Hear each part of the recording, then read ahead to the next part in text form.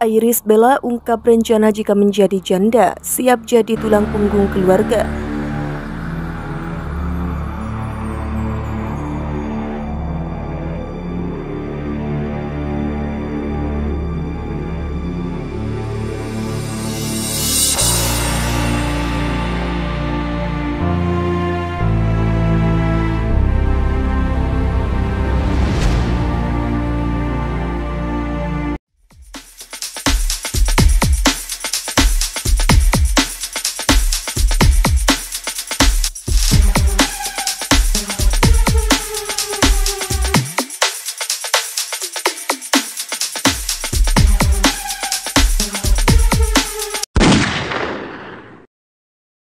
Kabar Amar Zoni ditangkap polisi karena narkoba jelas mengagetkan netizen karena menjadi kasus kedua kalinya. Bedanya kini Amar Zoni berstatus sebagai suami dari Iris Bella. Pasca Amar Zoni masuk bui, segala hal terkait rumah tangganya dan Iris Bella menuai sorotan. Banyak yang mengkhawatirkan rumah tangga Iris Bella dan Amar Zoni akan retak atau bahkan hancur. Namun sampai saat ini Iris Bella terakhir kali terlihat menjenguk Amar Zoni dan meminta maaf kepada publik. Gonjang-ganjing rumah tangga Iris Bella dan Amar Zoni belum terbukti sampai ke Pengadilan Negeri Jakarta Selatan. Iris Bella dan Amar Zoni sebelum kasus narkoba mencuat kerap bertukar pikiran dan pendapat di YouTube channel Ice TV. Keduanya bahkan sempat berandai-andai bagaimana jika Iris Bella harus hidup sendiri ditinggal meninggal oleh Amar Zoni.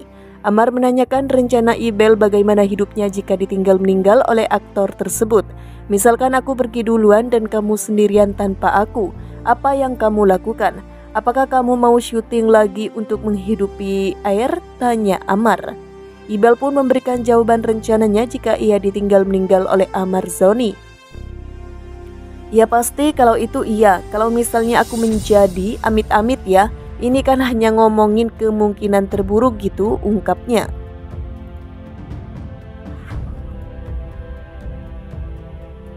Tapi kita gak tahu kan masa depan kita, jawab Amar Zoni. Ia mengaku akan tetap mencari nafkah buat anak-anaknya di dunia hiburan tanah air dan siap kembali jadi tulang punggung keluarga. Betul-betul ia aku siap kerja lagi karena aku pernah jadi tulang punggung keluarga, sahut Ibel. Itu tadi jawaban rencana Iris Bella ketika ditinggal pergi oleh Amar Zoni meninggal dunia dan menjadi janda. Gimana menurut kalian?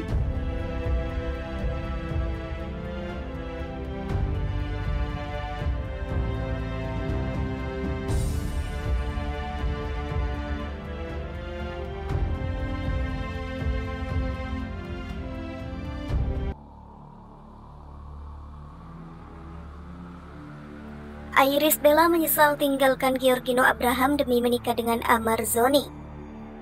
Usai terjerat kasus narkoba, rumah tangga Amar Zoni dan Iris Bella sontak menjadi sorotan. Terlebih kini Amar Zoni harus menjalani rehabilitasi di Lido Bogor, Jawa Barat selama 3-6 bulan. Hal ini membuat sang istri Iris Bella harus berjuang sendiri merawat kedua buah hatinya. Momen tersebut membuat Iris banyak disorot. Baru-baru ini bahkan beredar kabar jika dirinya menyesal lebih memilih Amar Zoni daripada sang mantan. Giorgino Abraham. Kabar tersebut diunggah oleh akun YouTube Pawang Artis. Video tersebut berjudul Pecah Tangis Iris Bella Menyesal Tinggalkan Giorgino Abraham Demi Menikah Dengan Amar Zoni. Dalam video itu menampilkan foto thumbnail Iris Bella tengah mengusap air mata. Sementara backgroundnya yaitu foto bersamaan Iris Bella dengan Giorgino Abraham dulu. Lantas benarkah kabar tersebut?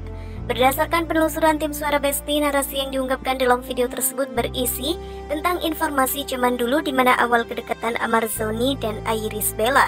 Foto-foto yang ditampilkan juga merupakan foto lama Iris Bella dan Giorgino Abraham yang saat masih menjalin hubungan. Tidak terlihat sama sekali foto teranyarnya. Amar Zoni saat itu sempat meminta izin pada Giorgino soal kedekatannya dengan Iris. Giorgino pun tak mempermasalahkannya, ia justru sudah menganggap Amar sebagai sosok sahabat, bahkan kakaknya sendiri. Dalam media sosial Instagram milik Iris Bella juga tidak menampilkan sesuatu yang menggambarkan kesedihan. Ia justru terlihat sibuk menghabiskan waktu mengurus kedua anaknya semenjak ditinggal Amar Zoni. Sementara Giorgino terpantau dari media sosial Instagramnya, juga terlihat sibuk dengan aktivitasnya melakukan syuting di luar kota. Giorgino Abraham justru dikabarkan tengah melakukan pendekatan dengan Yasmin Nepper. Hal ini membuktikan bahwa Iris Bella dan Giorgino Abraham sama-sama disibukkan dengan kegiatan masing-masing, sehingga tidak ada waktu untuk memikirkan masa lalu. Berdasarkan informasi di atas dapat disimpulkan bahwa kabar Iris Bella menyesal telah meninggalkan Giorgino Abraham demi Amarzoni adalah hoax.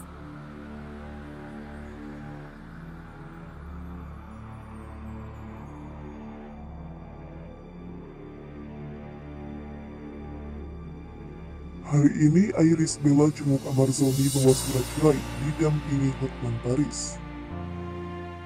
Usai namanya kembali terseret dalam kasus narkotika, Amarzoni dikabarkan dihadiahi surat cerai oleh istrinya Iris Bella. Hal itu terungkap melalui unggahan kanal YouTube Deskis. Dengan judul, hari ini Iris Bella jenguk Amarzoni sambil bawa surat cerai.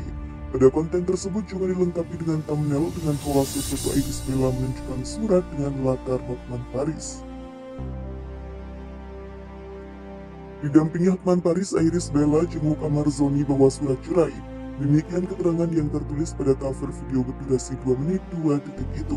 Video dengan link YouTube tersebut sudah disaksikan 8.208 kali. Lantas benarkah Iris Bella membawa surat cerai untuk Amarzoni? Berdasarkan penelusuran tim suara Denpasar, pemilik konten mengawali pemaparannya mengenai kronologi tangkapan Amarzoni di kediamannya di kawasan Sentul, Jakarta Barat. Iris Bella merupakan istri dari aktor berusia 29 tahun tersebut dikabarkan telah menjenguk Amarzoni sambil membawa surat cerai didampingi oleh Hotman Paris. Menurut pemilik konten, hal itu dikutip dari sejumlah sumber yang tidak jelas dan tidak bisa dipertanggungjawabkan kebenarannya. Sementara itu untuk thumbnail video tersebut jelas bahwa foto Iris Bella dan Hotman Paris itu tidak sedang bersama, alias hanya editan. Dalam video tersebut tidak ditunjukkan bukti valid mengenai Iris Bella yang menggandeng Hotman Paris guna menuntut cerai Amarzoni. Sementara itu dikutip dari metrosuara.com diketahui Iris Bella memang sudah menjenguk Amarzoni, namun tidak ada pembicaraan mengenai perceraian. Iris Bella hanya memohon doa dan meminta maaf kepada masyarakat atas kasus yang menjerat suaminya tersebut. Iris Bella pun meminta izin untuk melanjutkan kesehariannya. Sebagai seorang ibu mengurus anak-anak dan sambil memperbaiki tanggung jawab saya terhadap pihak-pihak yang terkena dampak dari situasi ini, katanya. Dengan penjelasan tersebut dapat dipastikan, konten berjudul hari ini Iris Bella jenguk Amarzoni sambil bawa surat cerai merupakan informasi bohong atau hoax.